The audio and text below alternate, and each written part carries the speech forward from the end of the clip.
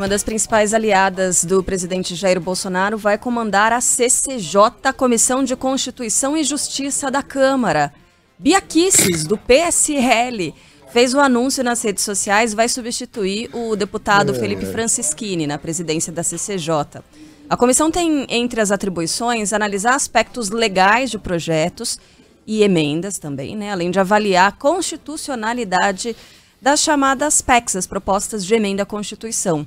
Ex-líder do governo no Congresso, Bia Kicis, é uma das investigadas no chamado inquérito das fake news que tramita no Supremo Tribunal Federal. Uma investigada pela polícia é, é alguém que quando o Bolsonaro disse aquela frase infame, e daí?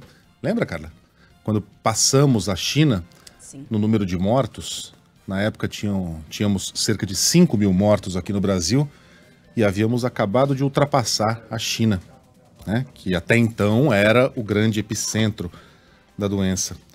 Bolsonaro disse aquela frase, e daí? Não sou coveiro. Aquela frase que ficará guardada na, na infâmia brasileira. E Biaquices, é, armado das espadas do, do puxa-saquismo é, crônico, apareceu na Câmara. Na Câmara, não, porque até então não estava nem havendo sessão mas apareceu num evento qualquer aí, é, fazendo questão de mostrar uma máscara que ela mandou fabricar, em que se liam as palavras e daí? Fazendo troça com, com quem criticava a frase do presidente, do grande mestre, mostrando uma grande sensibilidade. É uma negacionista, é uma radical extremista que vai comandar ah, e mais do que ser uma radical extremista, de radical extremista a gente está cheio. Nossa qualidade dentro da Câmara dos Deputados em material humano não é exatamente algo para ser é, aplaudido e louvado.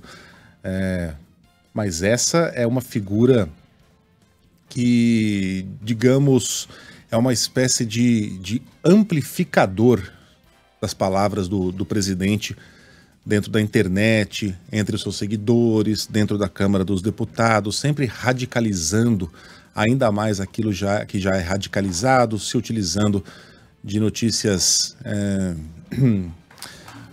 no mínimo que direcionam o eleitor ao erro. Não é uma, uma, uma não é um político com P maiúsculo, né? É o Mário Covas que dizia que havia políticos com P maiúsculo e os políticos com com P minúsculo.